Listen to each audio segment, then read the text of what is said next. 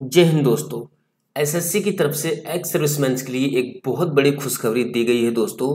SSC stenographer grade C and grade D के पदों पर जो है वो भर्ती का नोटिफिकेशन एसएससी के द्वारा उनकी ऑफिशियल वेबसाइट पर अपलोड कर दिया गया है। तो चलिए दोस्तों, आज की इस वीडियो में हम आपको इसी भर्ती से रिलेटेड जो भी पॉइंट्स हैं रिलेटेड टू एक्स सर्विसमैन पूरे के पूरे डिटेल्ड में बताने वाले हैं।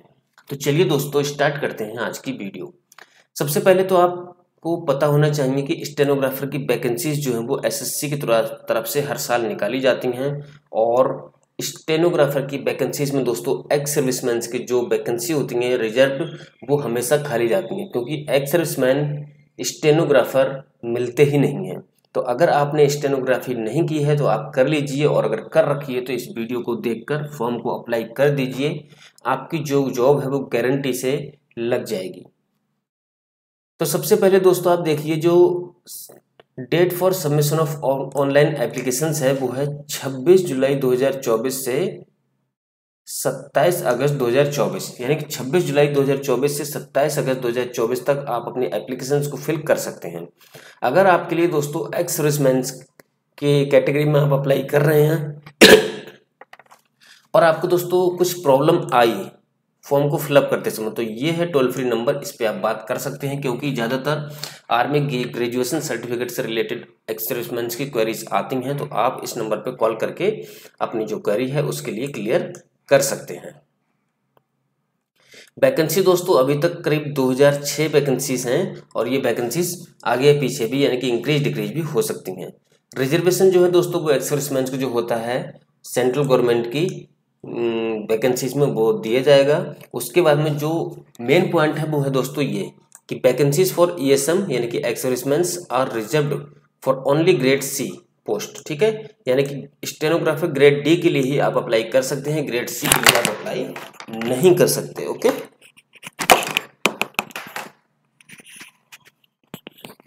सॉरी मेरा माइक गिर गया था। आगे चलते हैं दोस्तों और बात कर लेते हैं अभी हम आपकी एज रिलैक्सेशन। तो दोस्तों, एज रिलैक्सेशन आपके लिए इस प्रकार है कि आप जितनी भी एज है, उसमें से अपनी सर्विस को माइनस कर दीजिए। जितने भी आप सर्विस करके पेंशन आउट हुए हैं, और उसमें तीन साल और माइनस करिए। उसके बाद में जो आपकी एज है वो, इसमें नोटिफिकेशन जितनी भी एज दी गई है, उससे ज़्यादा नहीं होनी चाहिए। उसके बाद में दोस्तों है कि ex serviceman who have already secured employment in civil service तो अगर आप ऐसे सिविल सर्वेंट हैं जो कि एक्स सर्विसमैन के कोटे, कोटा को लेकर सिविल में किसी भी जॉब में भर्ती हो चुके हैं तो आप एक्स सर्विसमैन के कोटे के लिए दोस्तों एलिजिबल नहीं होते हैं, लेकिन आप एज में रिलैक्सेशन हमेशा ले सकते हैं।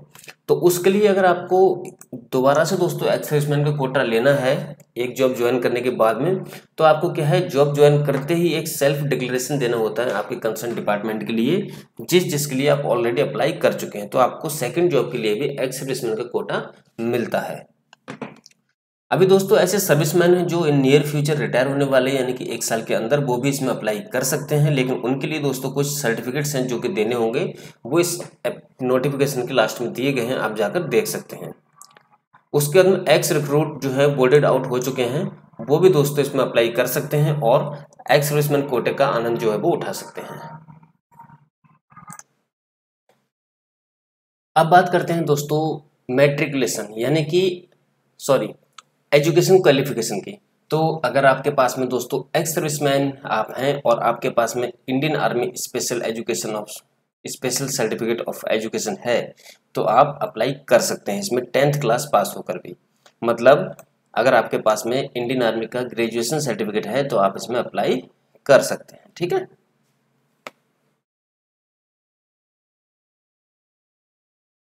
नेक्स्ट पॉइंट पे चलते हैं दोस्तों, जो कि इस भर्ती से रिलेटेड है। चलिए हाउ टू अप्लाई ठीक है? तो एक्स सर्विसमैन या फिर कोई भी कैंडिडेट्स है, अगर इस भर्ती में अप्लाई करना चाहते हैं तो एसएससी की जो न्यू वेबसाइट है, ये वाली, ठीक है? जिसका लिंक इस वीडियो के डिस्क्रिप्शन में मैं दे दूँगा, वहाँ से जाके अप्लाई कर सकते हैं।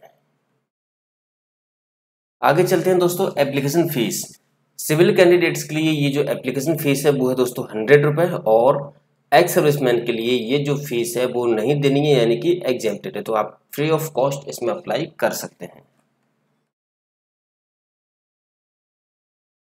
नेक्स्ट है दोस्तों स्कीम ऑफ़ एग्जामिनेशन तो आपके पार्ट वन टू और थ्री यानी कि तीन पार्ट में आपका पेपर होगा। फ़र्स्ट पार्ट में दोस्तों आपके जनरल इंटेलिजेंस एंड रीजनिंग के क्वेश्चंस होंगे 50 क्वेश्चंस 50 मार्क्स के। उसके बाद में जनरल अवेयरनेस के पेपर सॉरी क्वेश्चंस होंगे 50 50 मार्क्स के और उसके बाद में आपका दोस्तों इंग्लिश लैंग्वेज एंड कंप्रहेंशन का जो है वो टेस्ट होगा। 100 मार्क्स का ये पेपर होगा और 100 नंबर का होगा।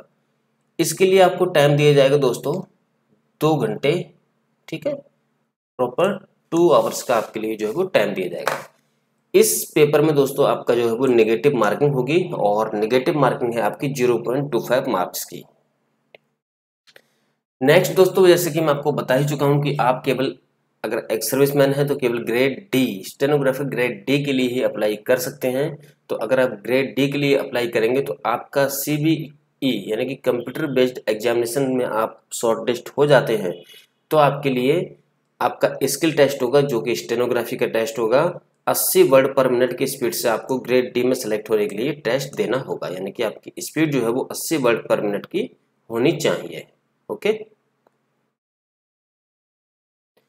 तो आज की वीडियो में दोस्तों बस इतना ही है। उम्मीद करते हैं ये वीडियो आपको पसंद आई होगी। अगर ये वीडियो आपको पसंद आए तो वीडियो को लाइक और चैनल को सब्सक्राइब कर लेना। ये नोटिफिकेशन में दोस्तों अप्लाई करने का पूरा का पूरा तरीका स्क्रीनशॉट के ज़रिए जो है वो दिया गया है। ठीक है? इस तरह से। तो अगर आपको कोई भी प्रॉब्लम आए तो इस नोटिफिकेशन को डाउनलोड करके स्क्रीनशॉट देख लेना। और अगर फिर भी नहीं समझ में आए तो ये जो टोल फ्री नंबर दिया गया है, इस पर आप कॉल करके कोई भी इंफॉर्मेशन ले सकते हैं। तो चलिए कल फिर मिलेंगे एक नई वीडियो के साथ में, तब तक के लिए नमस्कार, जय हिंद, जय भारत।